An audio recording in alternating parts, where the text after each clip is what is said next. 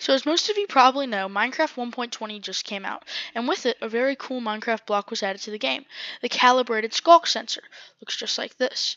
Using this new redstone component, we can pick which sounds it hears by putting a redstone signal through the side with a crystal, just like this. So if we go 1, 2, 3, 4, 5, 6, 7, 8, stick it there, this doesn't hear anything. Can't pick up any vibration other than eating food. So, level of power that goes into the sculk sensor changes what noise it hears. So in this video, I'll be showing you guys how to make a door that opens when you fly an elytra through it.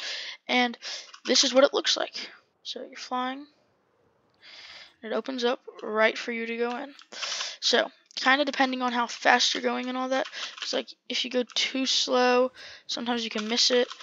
But you guys can kind of tinker with that based on how you guys are going to be entering. And then, like, the best way to do it is to do from kind of far away, but not to do it super fast. But uh, I'll show you guys how to tinker with it very well. So I'm kind of going a little too fast, I guess. So let's check out the items we're going to need. To build this, you're going to be needing a lot of whatever block you pick. Uh, I just have 64, which probably more than that.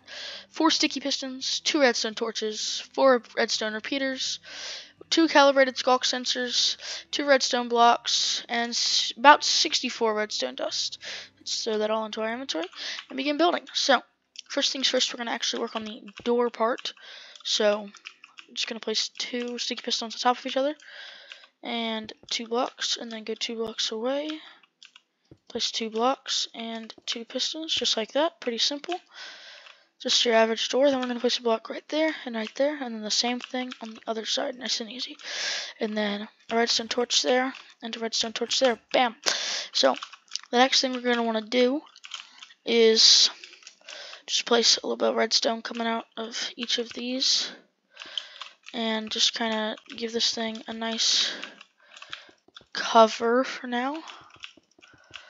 Pretty simple. Just throw it on and then we will do this this and that's just really cover it in whatever way you like. And just those redstones can just be sticking right up the back. I don't know what I did wrong here. Uh, I built up around the redstone. There you go.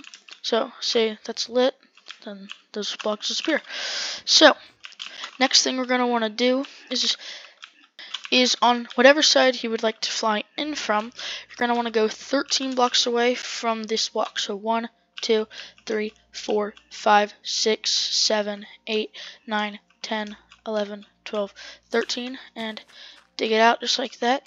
You're going to want to put two redstone in, and then dig out both of these, and put that to where the sculk sensor is pointing that way and then flip this around to where the sculk sensor is pointing that way. Then we're going to want to mine this in till we are about three blocks away, I'm pretty sure. So yeah, just keep on mining this in. And yeah, as I said, so three blocks away. So now right in front of these, we're going to put two redstone repeaters and redstone going all the way up to there. And now this is where we're going to kind of use our calibrated sculk sensors. So we're going to dig the block behind it. And then we're going to start digging this way, 12. So 1, 2, 3, 4, 5, 6, 7, 8, 9, 10, 11, 12.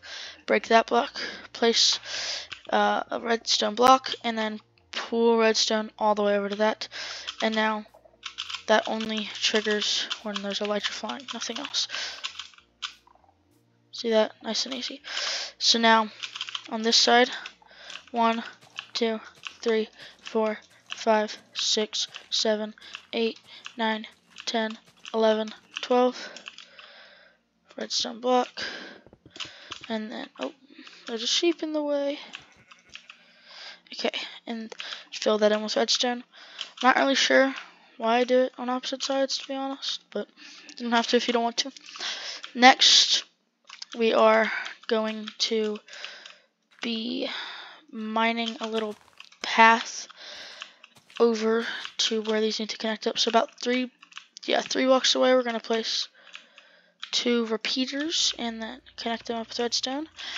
And this part's pretty simple. All we want to do is connect the redstone up right there Alright guys, so I just noticed I made a mistake. We gotta do these out uh, one block more so these can actually go right into that. So stupid sheep, get out of the way. Just it should look just like this. And then we'll grab some dirt real quick.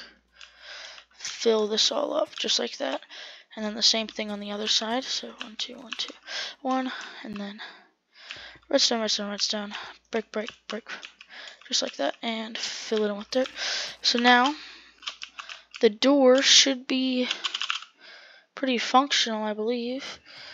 So you guys can kind of set up how the timings work with uh, adding time to your repeaters, uh, bringing these farther away or closer, uh, depending on how you fly in and all that, but it definitely works.